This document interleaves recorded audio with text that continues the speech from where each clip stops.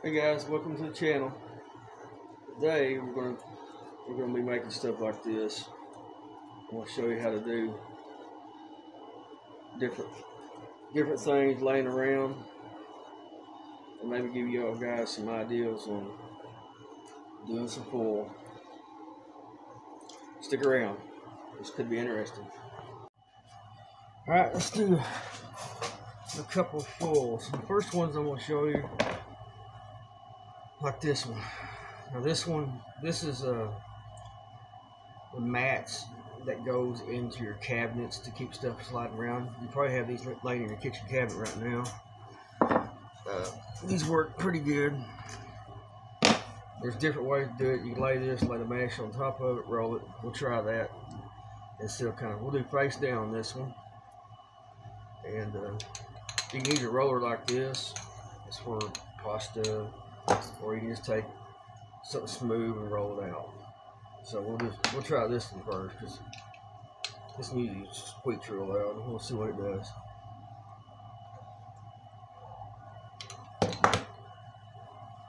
Let's see, I didn't do hardly anything on that one. So let's put it down on the hard part and use something that's got a little more pressure. Something you can put a little bit more pressure on.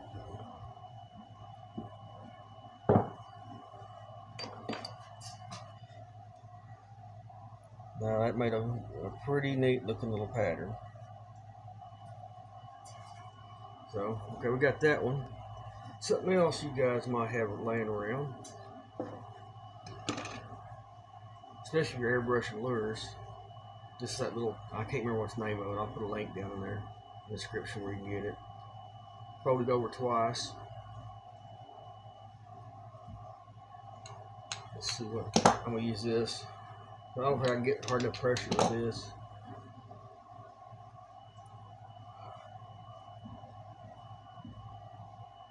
Roll it back a couple times. I can already see a pattern on this one.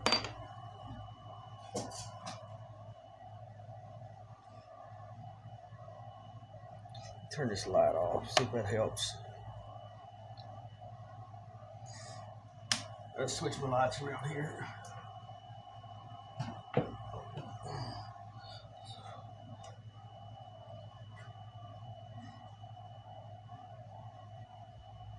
That makes a pretty good little pattern.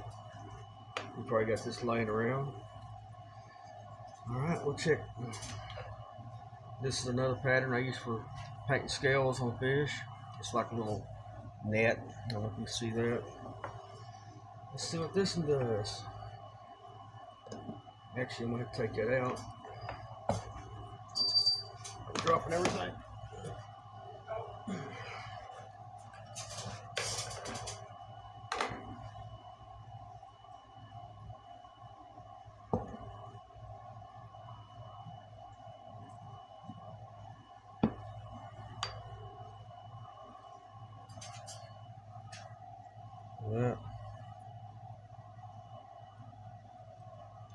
Nice little octagon pattern.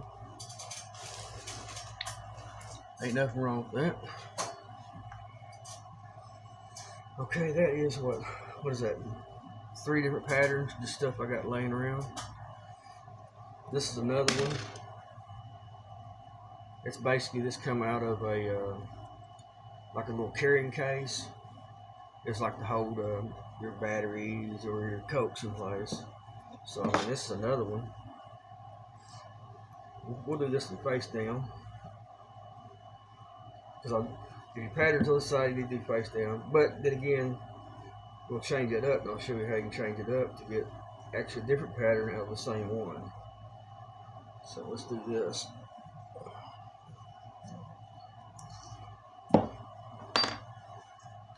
That's a pretty little pattern. Now, what if we want to add a little bit to this? Let's say we want to do something a little different. We'll use uh, something like this. It's got a little ridge on it. This is off of a, a X-Acto knife, like this one. But I actually found one that had this grip down on the side of it. Or if you have something like this, which is for clay. So Now we got this pattern. Let's see if we can change it to look up by just adding something on the top side at the same time.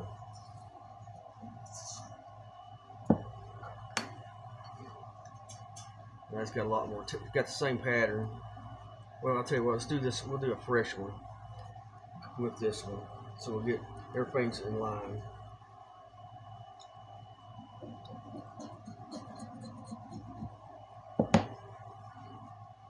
I don't know if that'll show up on camera or not. There's a lot more dots.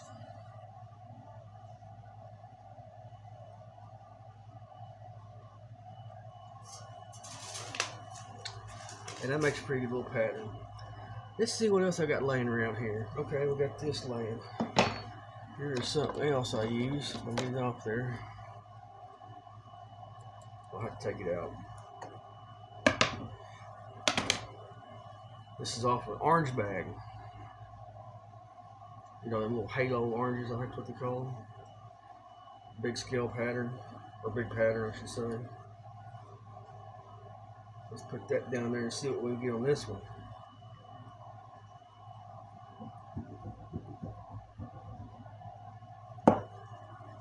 Mm, I kind of like that one. That's kind of big and bulky and got some crazy stuff going on. That looks good. That's just an orange bag. Doubled over. I bet if you singled over, it wouldn't be. Well, if you single over, you're just going to have big ones. I wonder if I double it over again, like that. Let's see what that'll do. I hope I'm in focus. Need to move over here a little bit. I might be doing this whole thing, not even in focus. And I have a aluminum rod somewhere, it's a bigger one, and I cannot find it anywhere. I probably walked over it a hundred times. Let's what this looks like. That's racked over four times. Two times. It looks completely, completely different compared to this one.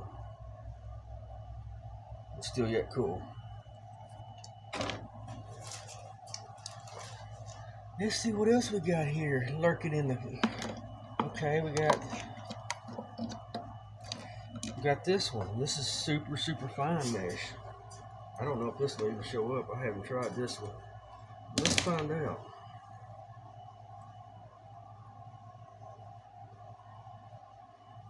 Trying to float away.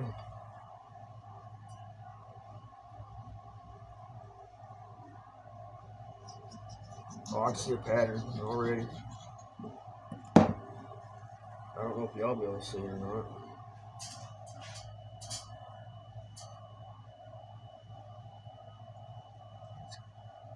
Really, really, really fine. That looks good too. I like that. There's another one out of something that you may have laying around. Of course, if you you foil baits every day, do it for years, you probably got stuff laying all over the place to do different things. There's a lot of cool different stuff out there.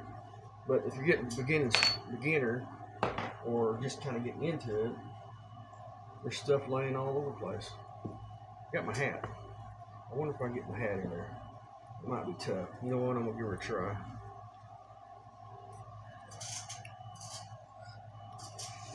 Get my old hat in here. I don't know if I'll be able to do that or not. I sure ain't gonna cut my hat up. I just get it to lay down.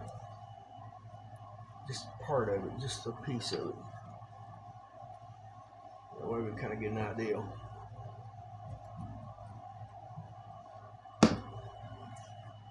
Okay, that's the hat. It's kind of moved around on me, but it does have a pattern, and it would work. Hat on. Okay, or you can do.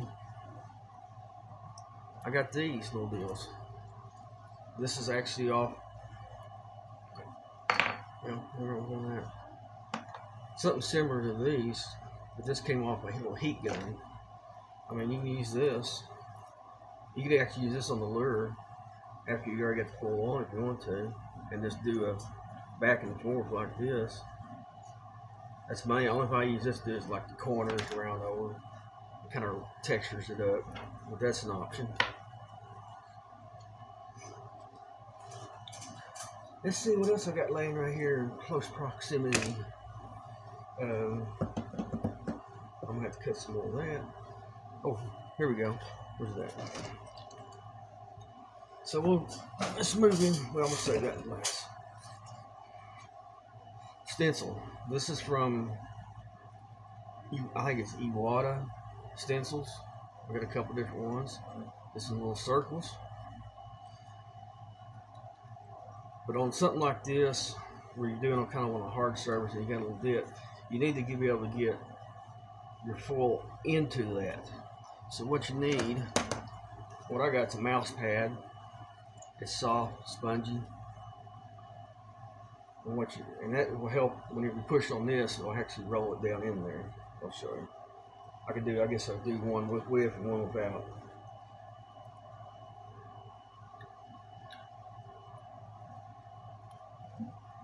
We'll do this one with to show you the difference. Bunch, bunch of little circles.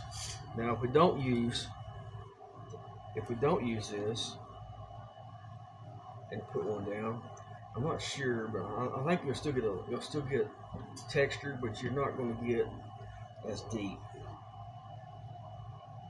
I'll roll it back a couple times The pattern's a lot shallow. I mean, it work. The pattern's a lot shallower compared to that one. I don't know if you,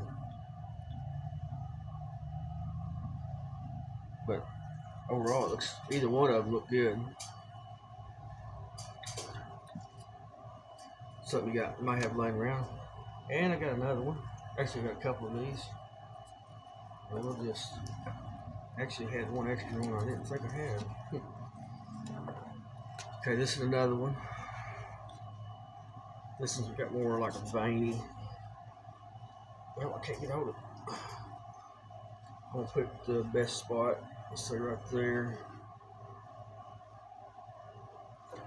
Do that.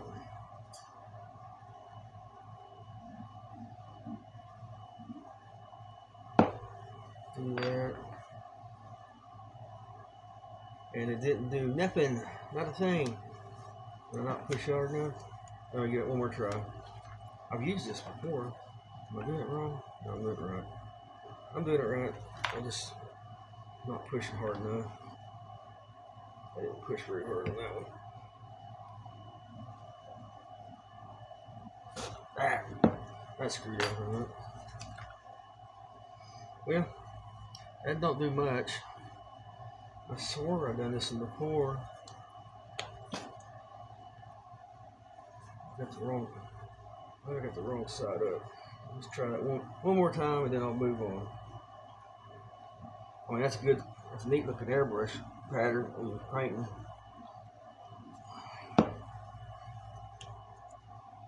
Yeah, not much, very slight. So that don't work too good. Maybe because the hose ain't big enough. This will probably be the same one. It's kind of like a wood grain. And I got to cut.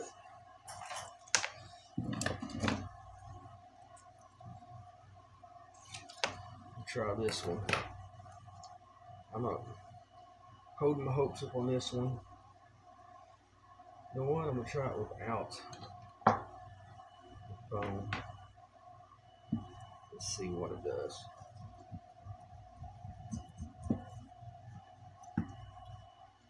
Uh, nothing. So that's two, it ain't gonna work. So I have a feeling that this is not gonna work neither. So circles work. Alright. Now this one is stainless steel mesh, it ain't mesh wire, it's more like a screen, but it's really, really stiff. So Let's see what this, I know this one will work, and we can actually do, we can actually get two different patterns out of the same I'm gonna do both of them this direction. You face up.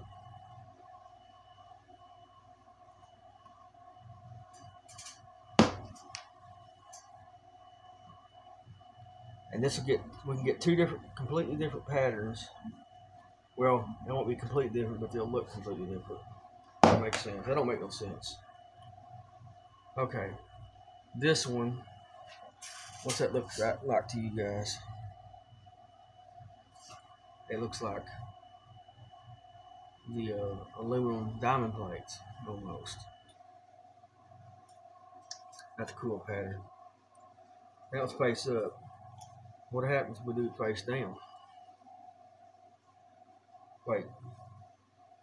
Is that face down? Face up, face down, maybe? Okay, face up. I may have done that backwards. Okay, face up.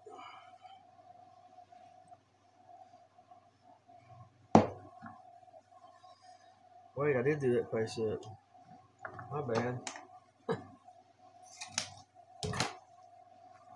okay, face down.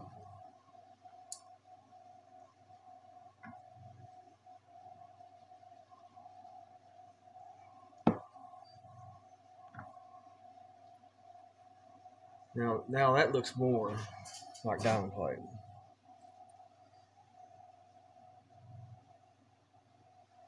I don't know if you can see that.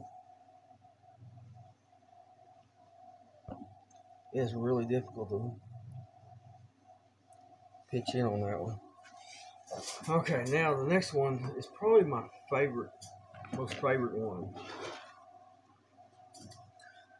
This is real small corrugated stainless steel wire. Now this come off of, I don't know, I ain't got nowhere to tell you where to get one of these at. Where this come from? This come from an old, old industrial equipment and it's all bent up and I was able to cut one square out of it and flatten it back out and save it. But also, if you look around on uh, like old radio speaker or radio speakers, like the old box radios, they'll have stuff like this on their speakers, especially your old ones with metal. Uh, you might be able to find something like this. And this has got a directional pattern. So we're going to do two different two different ways on this one. It'll basically give you a, a reverse from each other. One of them works good on uh, small crankbaits. One of them don't. This this way I'm doing this right now. This actually works better on small crankbaits, but it's still pretty hard to get it to go around on curves because this is going to be actually going to have a really deep pattern.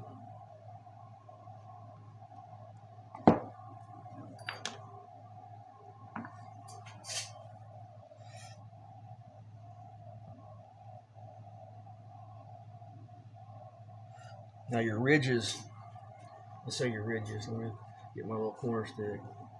I ain't my corner stick. Where's my corner stick? Got stuff all over. The ridges are high and your parts here are low. Did I do that face up? Yeah, I did that face up. So, if we do it face down,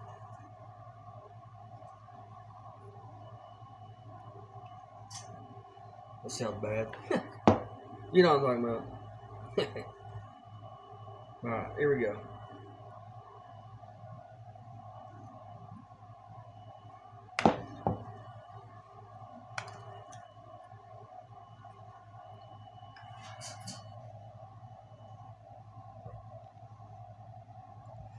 get to focus in on her, guys.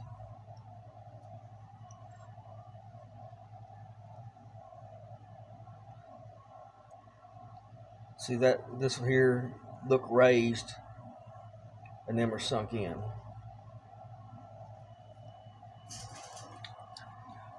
Now this would work good on these will work good on like if you got a swim bait that has less of a curve in it like that. It works good. Uh, actually, got one I'm working on.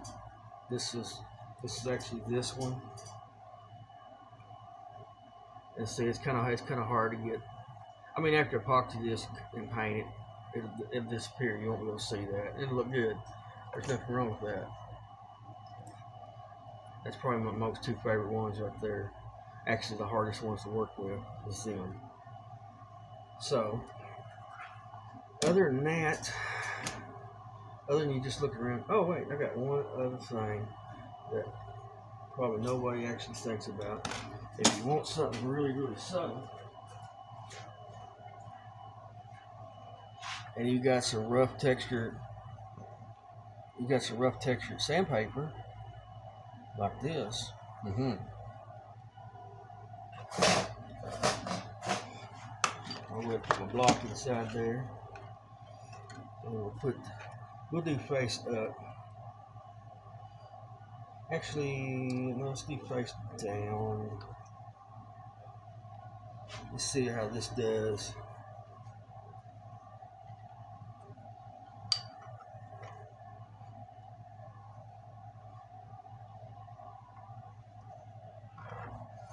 Wish I had a smaller piece of sandpaper. Now, if you want just a texture that ain't too extreme,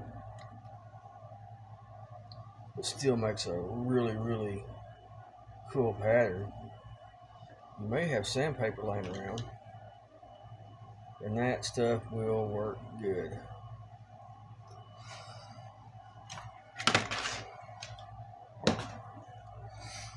It's a sandpaper. I'm gonna try to focus in on each one of these so you can kind of get an idea. This was the corrugated wire mesh.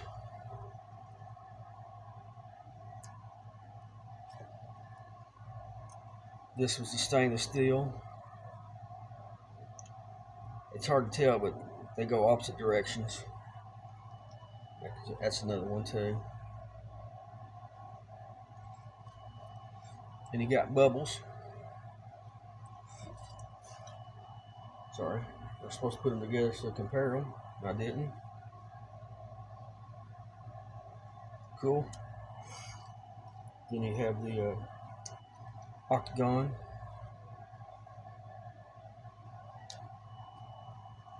Then you have the very, very fine netting. I don't know if it'll. I'll try to focus in on it if I can. Barely see. Then you have, uh, where's that?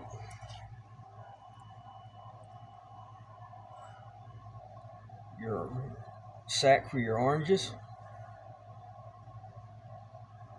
Remember, folded over twice, folded over four times. And this is that other netting that come in like backpacks or holders and stuff like that. I can't, I don't even know where I even found that one at.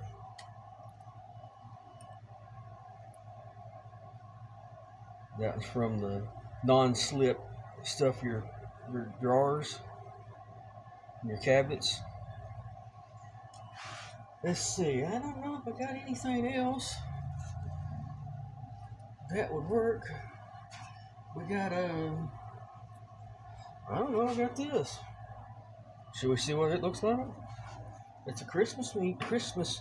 Uh, Christmas theme. Well, let's give it a try and see what it looks like. You know, might want to do uh, see, I need to go, I forget what I'm doing sometimes. This is, I don't know if this will make a pattern or not. Yeah, you made a pattern.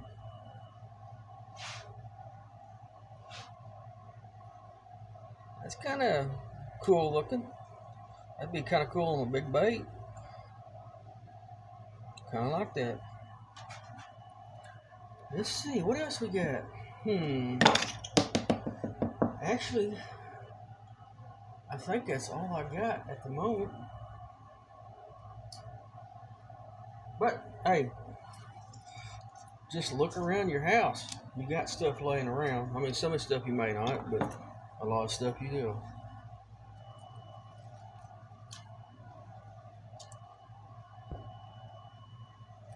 On the phone, ain't focusing. Alright guys, uh, I hope this helps, you know, doing some foil work. Catch y'all later.